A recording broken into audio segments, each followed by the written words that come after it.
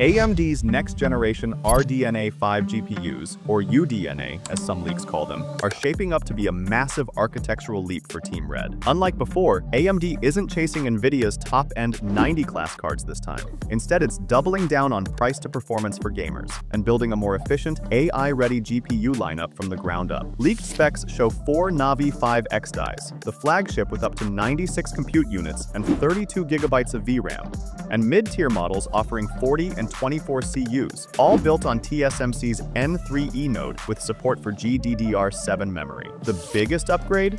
Neural arrays for AI-driven rendering, Radiance cores for faster ray tracing, and universal compression to cut memory bandwidth use. Codenamed Alpha Trion, Ultra Magnus, and Orion Pax, RDNA 5 is expected to launch in late 2026, with top models likely priced between $1,000 and $1,500. So if these specs hold hold true, AMD's RDNA 5 could be its biggest GPU evolution yet,